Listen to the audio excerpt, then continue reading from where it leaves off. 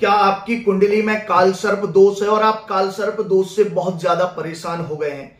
लेकिन काल सर्प दोष होना ही केवल आपकी परेशानी का कारण नहीं हो सकता है। कहीं ना कहीं आपको काल सर्प दोष योग के विषय में विस्तृत जानकारी होना आवश्यक है। ज्योतिष शास्त्र में 12 प्रकार के काल सर्प दोष बताए जाते हैं।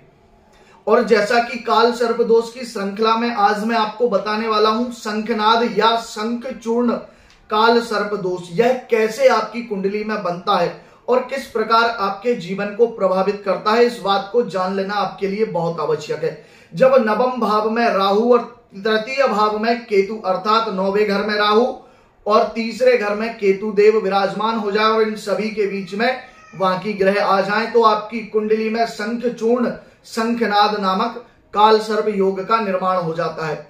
यह काल सर्प योग नवम भाव अर्थात भाग्य के भाव में बनने के कारण आपके भाग्य को बहुत ज़्यादा नुकसान पहुँचा देता है। अर्थात यह काल सर्प योग भाग्य अवरोधक होता है। आपको जीवन में भाग्य के भरोसे कोई भी चीज़ प्राप्त नहीं होती और तीसरा भाव होता है मेहनत का। आप अपने जीवन में कितनी भी मेहनत करेंगे, आपको उसका फल नहीं मिलेगा। हमेशा मेहनत करने के बाद भी उसका श्रेय कोई दूसरा व्यक्ति ले जाएगा और आपको उससे कभी लाभ नहीं मिलेगा।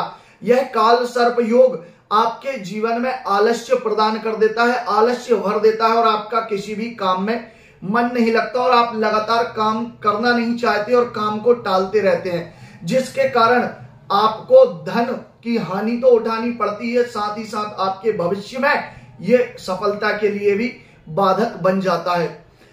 जिन लोगों की कुंडली में यह काल सर्प दोष होता है, वो मेहनत वाले काम से बचकर छोटे छोटे काम को करना चाहते हैं। ऐसे व्यक्ति जीवन में शॉर्टकट लेना चाहते हैं और जीवन में उन्हें उच्च शिखर पर, सफलता के ऊँचे शिखर पर पहुँचने का मौका नहीं मिल पाता। है जिसकी कुंडली में यह काल सर्प दोष होता है, उस व्यक्ति की धर्म के प्रति श्रद्धा नहीं होती है, अर्थात वो व्यक्ति नास्तिक प्रवृत्ति की होता है। धर्म को नहीं मानता देवी देवताओं को नहीं मानता है। धर्म का आचरण नहीं करता और पापाचरण, पाप कर्म करने वाला हो जाता है।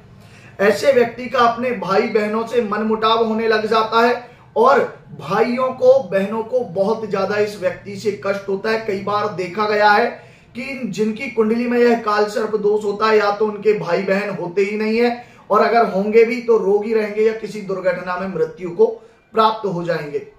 शारीरिक दुर्बलता ये जो कालसर्प योग है, वह शारीरिक दुर्बलता, अर्थात शरीर में ताकत नहीं होती। आप कितना भी पौष्टिक आहार ले लें, वो आपके शरीर में बल की वृद्धि, ताकत की वृद्धि नहीं कर सकता है। ये काल सर्प योग शारीरिक कमज़ोरी प्रदान करता है। और जिसकी कुंडली में ये काल सर्प दोष होता है, वो मांस, मदिरा आदि का भक्षण करने लग जाता है। अभक्ष जो चीज़ खाने योग्य नहीं है, उन सभी को खाने पीने लग जाता है, जिसके कारण उसके जीवन में और भी परेशानियाँ और संकट आने लग जाती हैं। तो इस काल सर्प दोष का सही तरीके से निवारण ही भाग्य का साथ दिला सकता है, जीवन में सफलता दिला सकता है। अगर आपकी कुंडली में भी इस प्रकार का काल सर्प योग है तो आपको आवश्यकता है कि विधिवत तरीके से उसकी आप शांति कराएँ। और अगर आप हमारे द्वारा काल सर्प दोष की शांति कराना चाहते हैं तो स्क्रीन पर दिए गए नंबर पर संपर्क करें और काल सर्प योग के विषय में विस्तृत जानकारी प्राप्त करना चाहते हैं। तब भी स्क्रीन पर दिए गए नंबर पर संपर्क कर सकते हैं। अब मैं आपको इस काल सर्प योग से छुटकारा पाने का एक सामान्य और घरेलू उपाय बता देता हूँ। एक ऐसी रेमेडी जो आपको इस काल सर्प दोष के दुष्प्रभाव को कम करने में सहायक हो सकती है। उसके लिए आपको करना यह है कि सोमवार या अमावस्या के दिन भगवान शिव के मंदिर में 18 नारियल संकल्प करके चढ़ा देना या फिर अलग अलग 18 मंदिर में चढ़ाना है। ना हो सके तो एक ही मंदिर में अठारह नारियल चढ़ा दीजिए, इससे आपके कालसर्प योग के दुष्प्रभाव में कुछ कमी आ जाएगी।